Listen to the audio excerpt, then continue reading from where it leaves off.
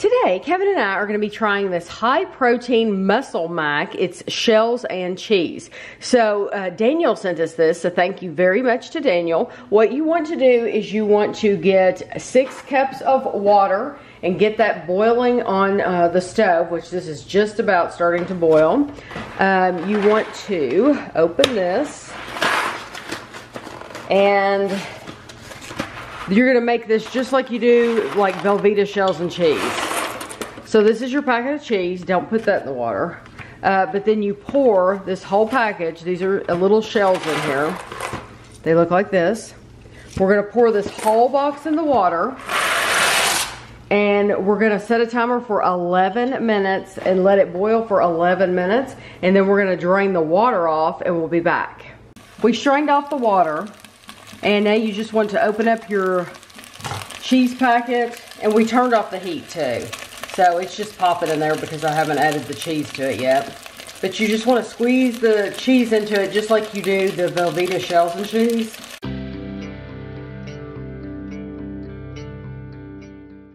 And it's ready, it's good to go. So I'm gonna put this on a plate and we're gonna give it a try. Okay, this says it is high protein, um, says it's C, C nutrition information for fat, saturated fat, and sodium content. It's very hard to read that. You wouldn't even know anything's there. It's no, white on yellow. Um, it's shells and cheese, performance nutrition for active lifestyles, GMO-free pasta, great tasting, real cheese, no synthetic dyes or colors. This has 20 grams of protein per serving.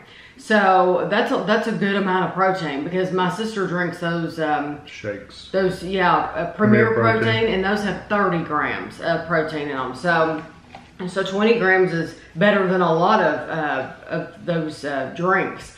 So uh, it's a 4.4 ounce, 125 gram package. There's two and a half servings in here, and it is 400 calories per serving. Wow. Um, Not low calorie. no, it has 1,030 milligrams of sodium. It has 48 grams of uh, total carbohydrates, 2 grams of fiber, 5 grams of sugar, and 20 grams of protein, like I said. This is uh, www.muscle-mac.com. It's a quality pasta company in uh, Pennsylvania. That's probably who makes it for them. Right. So it it does look like like Velveeta shells though. Mm-hmm.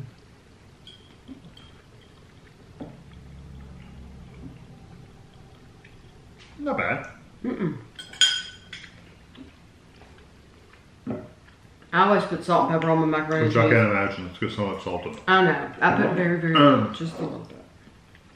I mean, I can taste the salt in there. well, mainly I'm wanting the pepper. Right. Yeah, that, that's just good. Just seasoning. It's not as rich as like the Velveeta. It's not as creamy. Yeah, but it does have a similar flavor and texture. It's just yes, not quite as rich as that one is. Yes, it does. Um, this is good. I mean, if you were needing I don't think there was anything wrong with it at oh, all. no, there's nothing wrong. If you would, you would know it was it was mac, different, any kind of different macaroni and cheese if you read this. No. Um, you could serve this to your kids, your family, whatever. Yeah, if so, you were wanting to add some extra protein. Yeah. So if you need the protein, you can definitely mm. make this. If you're trying to, like you said, if you're trying to get your kids to eat more protein. Yeah. Or what, fatten them up a little bit more. Yeah. Um, because I know sometimes they tell you to give kids this kind of pro, high protein stuff to this is help them gain weight. This would be a good, and it's macaroni and cheese. Because I can't tell like, the difference. Most kids like macaroni and cheese. So. Yeah. Now it is. It does taste different than like Kraft because Kraft uses that um, powdered the cheese. powdered cheese, and you add milk and butter to that. So this is different than that. Yeah. This is more like the Velveeta. Yes. If you've ever had Velveeta shells and cheese, this would remind you of Velveeta shells and cheese. Mm-hmm. Um, it would be I think it would be hard for anybody to tell the difference between this and the shells and cheese. Yeah, unless they're right next to each other. Exactly. So, uh, Daniel, thank you very much for sending this to us. We appreciate it. I think we had seen it before, maybe somewhere. Yeah, we've seen it. I think they sell it at like Walmart or yeah, Kroger. and it's just not something we ever would have picked up. So we appreciate you sending it to us, and thanks for watching.